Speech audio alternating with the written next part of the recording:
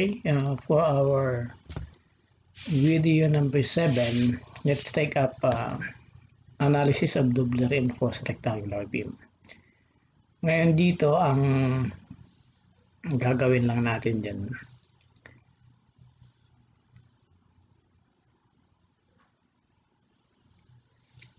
ganito lang. Kumbaga, mera, alam niyo na yung single reinforced beam. yung sing, uh, we have AES dito. Then magdagdag tayo doon ng another reinforcement which is AES prime. Ito yung B. Ito yung D hanggang dito. Then may additional tayo dito D prime. D prime. Ginagawa natin dyan ganito.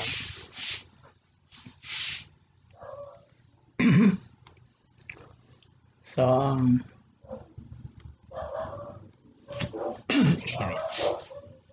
If we have this section, we have AES and we have AES prime. Gagawin lang natin yan ng ano, yung single reinforced concrete. Pero yun, gagawin natin AES1 na. Then we have the concrete in compression plus yung additional reinforcement. And we have AES2 dito. This is AES prime so this will be yung tinatawag natin na steel steel couple and this the concrete steel couple now AS will simply be equal to AS1 plus AS2 ngayon and double reinforce kailangan itong AS natin especially kung nagdi-design tayo kailangan mag-yield yan. And in most cases, nag-yield yan. Ngayon, itong compression reinforcement, pwedeng mag-yield, pwedeng hindi. Pwedeng uh, hindi nag-yield. Ano? Ngayon, walang issue dyan kahit na hindi mag-yield yan kasi good naman yun, ano yan eh. Best in compression. Kasi yung steel, sabi ko, within compression or tension, okay lang siya. Unlike concrete, weakened din siya. Okay. So, ganun yung pinaka-concept ng double reinforced beam.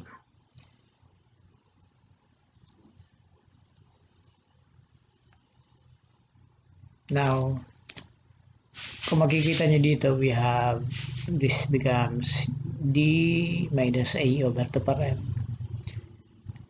Then ito C, pwedeng CS. Then ito magiging CS prime. Meaning compression. So it will yield couple. Then another couple dito. And this is simply yung MN1 and this is MN2. yung T1 natin is equal to AS1 FY. Then yung T2 equals AS2 FY. Ngayon, meron lang dito ng ano, kapag nag-yield yung kapag ka nag-yield yung FS prime, kapag nag-yield, gagawin natin FY yan. Kapag ka hindi nag-yield, may formula siya. Nagaling lang din naman sa straight diagram which is equal to 600 times C minus D over D prime yan over C. Okay.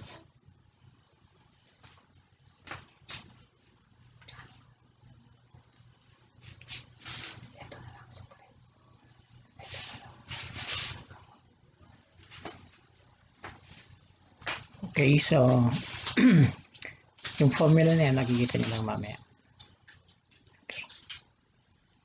Now,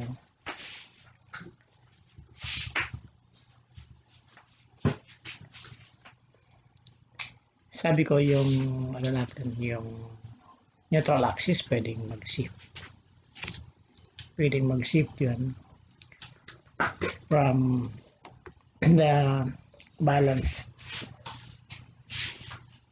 ano, neutral axis then kung under reinforced and over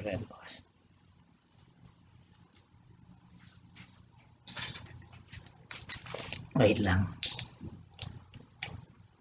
Now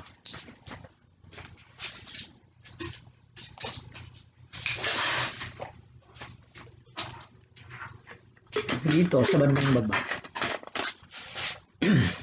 Excuse me makikita niyo sa module natin. Ito siya na. Ito na siya. So meron tayong MN1 dito. Meron ng NM2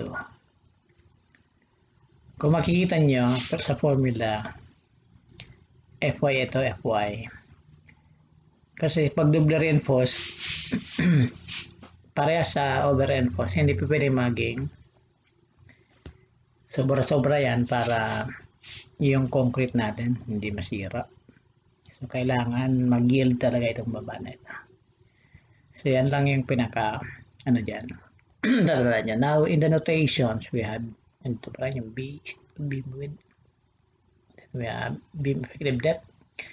Meron na tayong D prime uh, compression steel concrete cover or distance from the center of compression steel to the extreme compression concrete. Then yung C andyan pa rin. A AS ngayon meron na tayong AS1 tension steel area for compression concrete tension steel couple corresponding to MN1 then AS2 It's a tension uh, steel area for compression steel, then tension steel couple corresponding to MN2. Then AS prime, FS will still be the actual tensile stress. FS prime, actual compression steel stress. FY, FC prime. Then we have C, my CS tayo yung C is the concrete compression force resultant and CS is the steel concrete force resultant. Okay. So, ito pwedeng CC din yan. Pwedeng C, C, or C lang. Yung iba ginagamit is C1 yan, then yung CS, C2. Importante, alam niya. Then we have T total, and we have T1 and T2. Then we have MN1, MN2, then the total will be MN. Then again, nandito naman yung P. So, paano yung ano niya? yung analysis. Since analysis ito, uh, kumbaga, kung titingnan natin yan, dito, discuss ko muna to.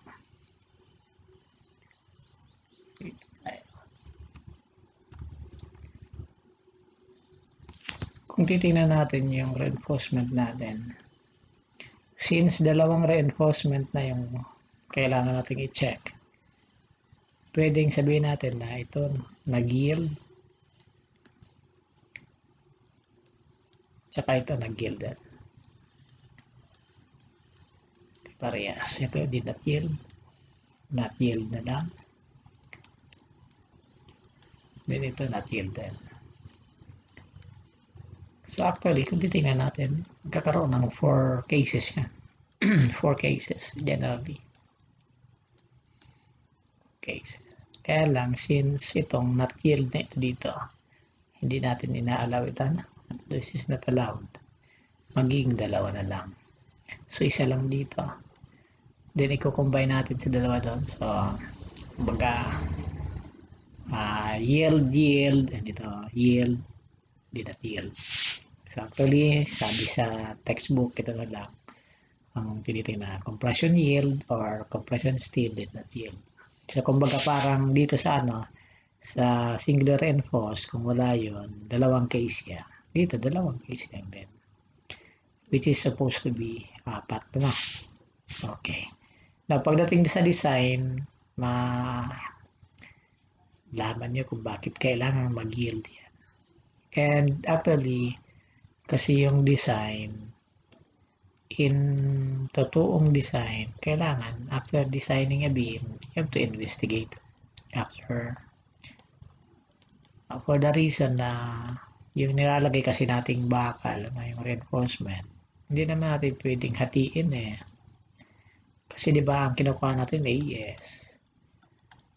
Tapos siyempre hindi yan eksakto. Kaya siyempre i-round off natin ng konti.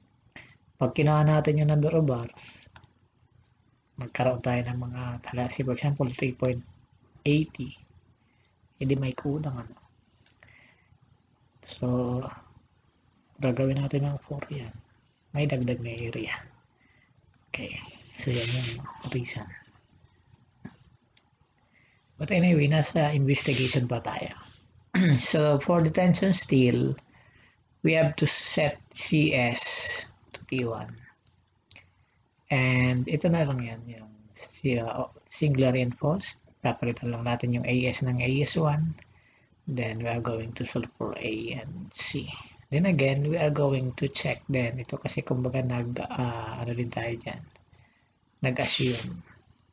Although, sabi ko, mag-yield na yan, ano? Kasi hindi namin pwedeng hindi mag-yield AES1. How about for AES2? Yung AES2, kung makita nyo, FY din yung kasama. Kasi sabi ko nga kanina, kailangan mag-yield yan. Uh, itong FS prime Kapag ka AS prime hindi nag-yield, so gagamitan ng FS itong formula na ito. So kanina yung FS ano? So yung formula natin, yung FS 600 600 D minus C over C. Then yung FS prime 600, 600 C minus D prime over C. Yan. Kapag ka mga hindi nag-yield ang material. Ito ang ginagamit natin kapag kayong steel hindi nag-yield. Ganun lang yan. So we have here additional notations wherein your MN1 will be equal to T1 times D minus A over 2. and yung T1 mo will be equal to AS1FY or since AS is equal to the sum of AS1 and AS2 therefore AS1 will simply be equal to AS minus AS2 okay and usually itong AS2 is compared to AS prime. Sometimes equal, sometimes not equal. Kapag ka nag-yield yung AS prime, ano, kapag ka yung AS prime nag-yield, equal lang ito dito. Ito magiging equal lang dito. O kaya ito magiging equal doon. Pero kapag ka hindi, meron siyang relation na gagamitin natin. So, okay. Ngayon, nasa rectangular section pa rin tayo. Rectangular section. For single reinforced sing, uh, single reinforcement, mayroon tayong raw balance na ito yon Ito lang. Okay, so medyo nalilito ko minsan yung mga estudyante. Kasi double reinforced pa ang ginagamit. Ito pag tinanong, balance ratio. Ito ang sasagot niya. Ngayon, magkaiba yung row balance ng single rain, single reinforce sa double reinforce. Yung double reinforce, meron tayong dagdag itong row prime. Yung row prime is equal to AS prime over BD. So, AS prime. So, the same form na, AS over BD at saka AS prime over BD. Ngayon, kung nag-yield, kung nag-yield ang compression steel Ibig sabihin yung fs prime is equal to fy. Yan ang gagamitin natin. Kaya mangyayari, rho prime lang to. Kasi mag-cancel out yun eh. Equal to 1 nga yung ratio. Kapag ka hindi, you are going to use for fs prime formula na may 600 c minus d prime over c. Na? Yan ang gagamitin nyo dito. Ah sorry, sa fs prime. Di-divide pa ako ng fy. Okay. So usually, anong nangyari sa fs prime? Di ba, hindi nag-yield, so less than fy. Okay? So yung row balance, yung row prime natin, decrease. Kasi mas malaki yung fy. For the case of tension steel yields and compression steel yields, so yung case 1 natin, although sabi ko ito usually, kahit na hindi na natin isipin na hindi nag-yield, kasi palaging nag-yield yan. So dito lang naman tayo titingin. So case 1 natin will be parehas nag-yield, then yung case 2, hindi ito nag-yield. Nag-yield pa rin ito. Ngayon yung case na hindi ito nag-yield, ito nag-yield, or hindi ito nag-yield, at ito hindi rin nag-yield. Wala na yan. Kasi magiging apat. And, bihira yan, or imposible nga mangyari. Because of the utility requirement. Now, for our first problem, for our first problem, okay, A reinforced concrete rectangular beam has a width of 300 mm and an effective depth to bottom bars of 450 mm. The beam is reinforced with 6 32 mm bottom bars and two 28 mm top bars, located 65 mm from the top. FC prime is given, Fy is also given. Now, determine the balance reinforcement ratio of the beam. Okay, take note, ang tinutukoy dyan yung row balance pang DRB double reinforced beam. Calculate the depth of the compression block and calculate the moment capacity of the beam. Okay, since uh, napaka, sabi ko napaka-importante yung ano eh, sa singular reinforced. Kasi kung yun, hindi nyo maintindihan yan, o nawaan, edi eh, mas halalo pa dito sa double reinforced. Okay. Now, actually here, ang ano dito, ang solution dito ganito. Okay ganito siya. Ang ginagawa natin dyan we first uh, consider the uh, compression steel uh, compression concrete and yung tension steel na ES1 saka itong yung ano natin dyan C at saka yung T1. Doon muna tayo mag-solve solve for A and solve for B. Solve for B. Ngayon, um, siyempre, pagdating mo doon sa formula na A will be equal to AS1 FY over 0.85 FC prime B yung FY mo, of course, will only be an assumption. Diba? Assumption. At sabi ko palagi namang FY. Ano yung purpose natin dito? AS1 yan, meron pa siyang kasama. Meron pang kasama yan. Ngayon, since makukuha natin yung ano, ito lang na dalawa.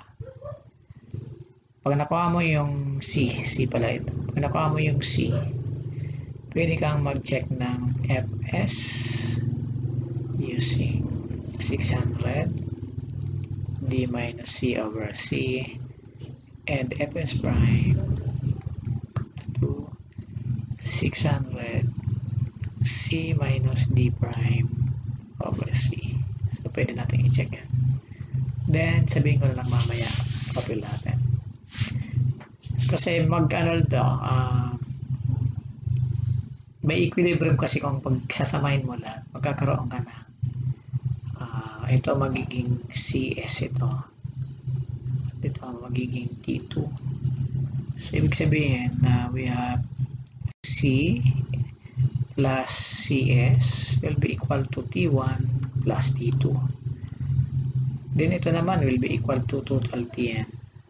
Total T. So ngayon, kung gawin natin C plus CS is equal to T pwede tayong pumunta rito. Actually, ito yung pinaka-general kasi kasama na lahat. lahat. Then, may makukuha din tayo ng A, makukuha din tayo ng C. So, actually, combination ito gagawin natin. Kaya lang, sa case 1, kapag uh, na-prove natin na tama yung mga assumption natin hindi na tayo pupunta rito. Kasi ito, babagsak na ito sa quadratic equation na naman ito. Quadratic equation. Ito mas madali kasi siyempre walang quadratic equation din. Okay. Now here in our uh, example, so we have the solution. Ano? The balance ratio is equal to the balance ratio for SRB plus a certain rho prime given by this formula. Now, NSCP 2001 tayo and FS, uh, FC prime is greater than 30. So, beta will be uh, okay, beta will be greater than uh, sorry, FC prime is greater than 30. So, your beta will be less than 0.85. 0.85. Kaya kailangan natin gumamit itong formula nila. Kasi nag-exceed sa so is 0.85 minus 0.007 uh, 0.05 over 7 FC prime at 30. But kailangan greater than 0.65 yan.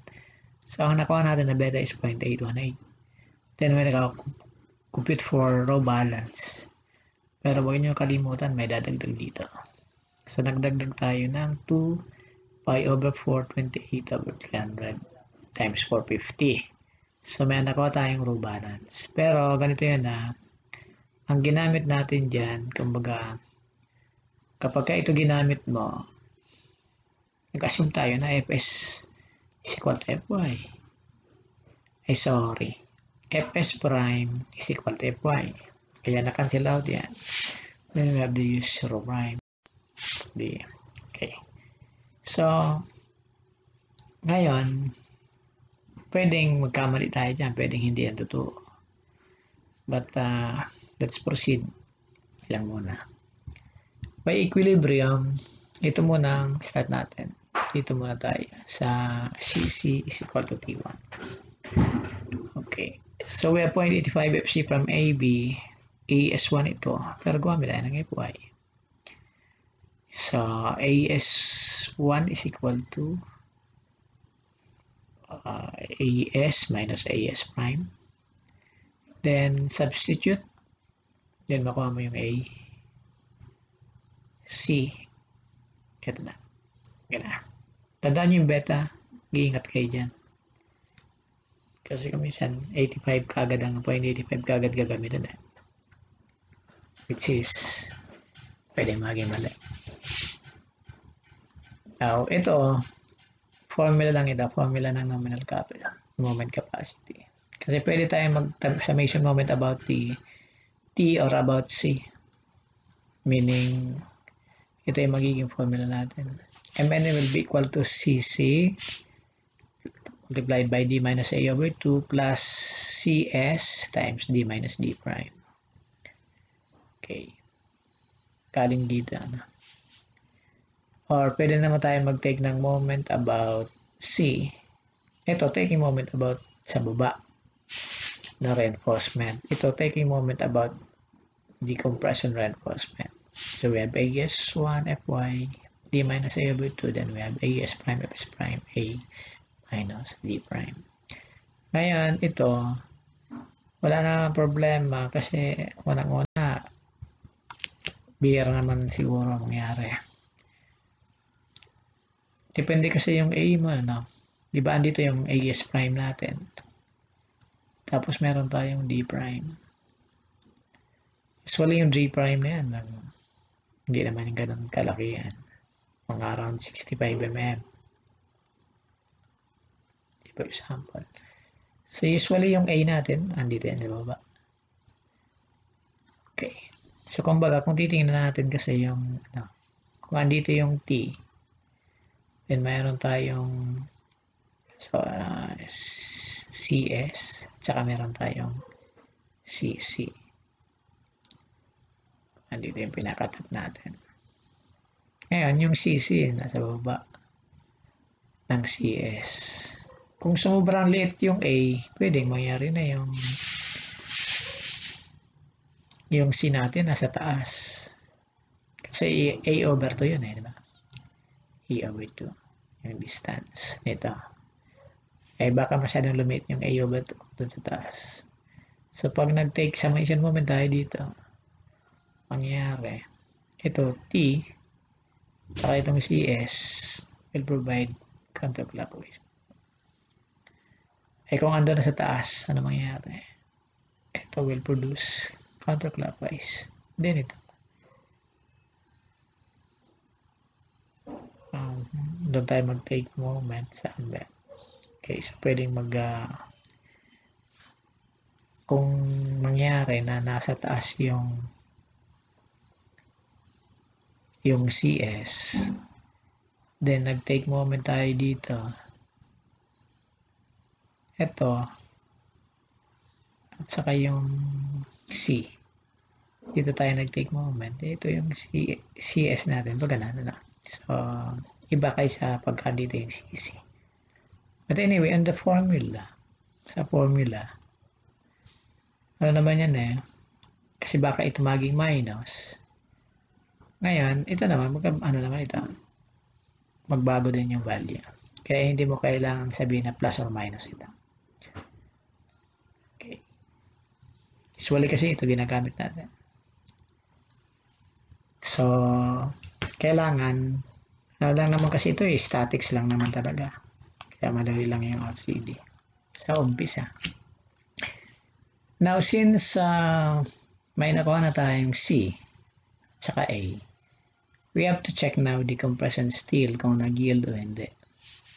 So, using this train diagram, ay ito makukuha niya. Medyo may, may bago pero sa strain diagram lang yan. Galing yan. So we have nakuha natin yung ES prime, ES prime to ah, ES prime yan. ES prime is equal to 0.0018 and i-compare natin sa ito equal to FY yan. EY kailangan, kailangan FY yan. 0.0013 0.00173 so ngayon pag tinignan natin anong nangyari dito yung AS prime natin, epsilon S prime na, uh, epsilon S prime, mas malaki. Ibig sabihin, nag-yield siya. So, we have to use Fs prime equal to Fy. Now, bakit hindi na, kahit hindi na tayo mag-check dito ng epsilon S, kasi sabi ko nga, mag-yield naman palagi yan. But, uh, kaya na kung siya nangyayari, optional na yan doon ka lang talaga mag-check mag sa FS Prime. Doon ka na lang mag-check. Pero kung gusto mo ng sure, you may, kaya may note ako dito, you may check tension steel and compressed steel yielding using this formula. So ito yung formula na pag itong ginamit mo, napoprove mo rin na nag-yield yan. Ngayon ganito ah, kapag ka ito nga is greater than Fy, So, tama lang na C1 uh, we're going to equate CS to T1 only. To T1 only. Pwede ka tumuloy dito. Pero kapag ka hindi, doon ka sa ano, hindi ito pwede. Hindi valid dito. No? So, meaning to say, okay lang na gamitin mo na FY dyan. Okay lang na gamitin mo na dyan. Kasi kung ano, gagamitan ba natin, natin ng FS yan, ng 600D minus CWC na oh, hindi na siya kasama dun sa criteria. Ano na, and bibiyara yung mangyayari or hindi nga mangyayari yan. Kaya palaging FY na yan. But we use this, ano, itatandaan niya sa assumption natin o kumbaga sa solution natin kasi actually talaga trial and error ito. dito muna tayo sa CC is equal to T1. Then, kapag ka ito tama, kapag ka nag-yield yung Fs prime, ibig sabihin tama na yung ginamit natin na CC equal to T1. Then you can now proceed here. Pero kapag ka hindi, iba yan. So, makikita nyo dun sa second case. So, now we can now proceed to MN. We can use this formula. So, madali na lang yan. Kaya nyo na yan. So, MN is 634.16 and ano yung pinagamit natin? 0.90. Kung 2015, again, alam nyo na yan, yung 1,000 in FY. Yung range ng value ng fee. Kung magiging tension controlled or compression controlled or in between. So, we have now a value of 570.75. Okay. So, I hope nakuha niya yan. Then for case number 2, compression steel will not yield. So problem number 2, rectangular beam has a width of 280 and a depth of 510. It is reinforced with steel area in tension equal to 304 and steel area in compression of 982. Ito yung total to, ha? total AES ito.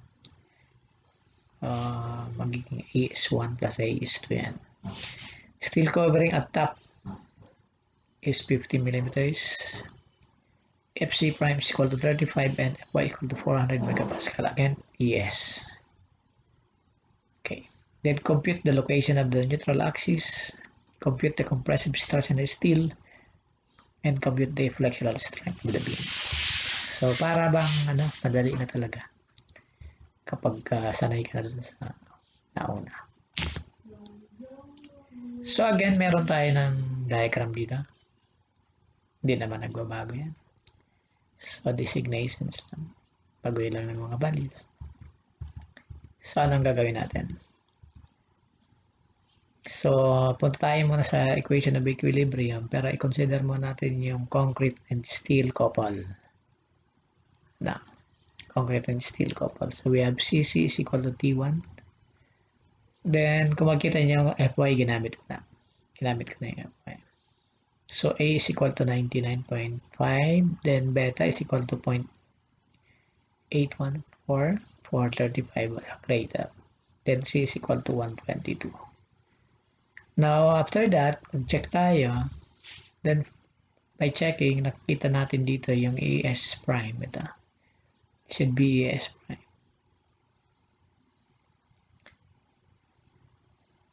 Um, compression steel did not yield. Compression steel did not yield.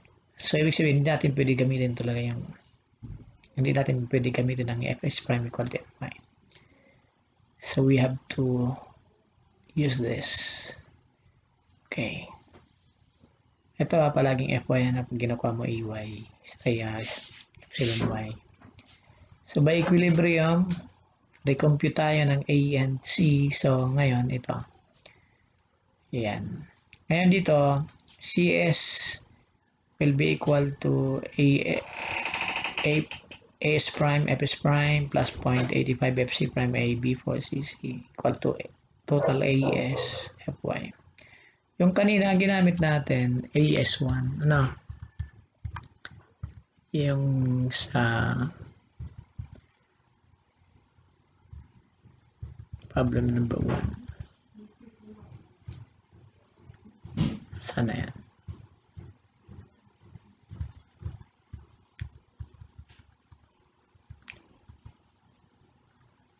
Okay, AS1.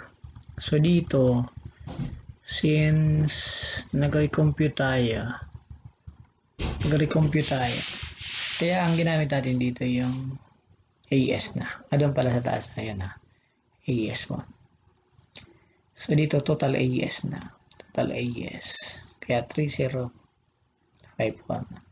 again okay na it is safe to use FIU so you'll get C pwede mong computein yung A but pwede ka na muna mag-check ulit so we have Kapitan natin yung AS prime. Epsilon na then nakuha natin is 0.00182. and that is really less than 0.002. Kaya tama, uh, compression still did not yield. So compression still did not yield, kaya ito ang ginamit natin. Hindi natin tinuloy dito. Hindi tayo tumuloy sa pagkuha ng moment capacity after using di ko uh, concrete steel couple. Ngayon, kailangan compute natin yung lahat. Okay. Sasabi ko dito, also, fs prime, pwede naman dito kasi mas madali talaga dito. Kunin mo yung fs prime, compare mo sa fy. Yung fs prime na nakuha natin is less than fy. So, tama na tayo. Compression still did that yield. Then, we can now compute for A kasi kukuha na tayo ng moment capacity. But, I have seen here, no, na pinakita ko dito, I have uh, shown you here that uh, I can check also for Fs. Then nakuha ko yung Fs is greater than Fy. Palagi ito mangyayari. Na, kapag ka meron kayong sinod na hindi yan nangyayari, ibig sabihin, doon ka yan sa pwedeng maging apat yun. Pero baka wala kayong matagpo ang ganun. Okay. So, nag-yield yung tension steel, yung compression steel hindi. So, the moment capacity now is equal to dito. Again, dito, saan tayo nag-summation moment dito? Sa baba, sa T. Kaya ang ginamit dito yung concrete, oh. 0.85 FC prime AB times D minus A over 2. Of course, D minus A over 2 pa rin yan. Then dito, AS prime, FS prime times D minus D prime. Okay? So, makuha natin is 506 560.37. Again, ito, baka magamit nyo FY ha. So, ang gagamitin natin yung actual FS prime na 364.48. And then again, you have this. And ito na. Ulit. Okay. So, we have now this, ano, case 1 and case 2. Okay. So that ends our video.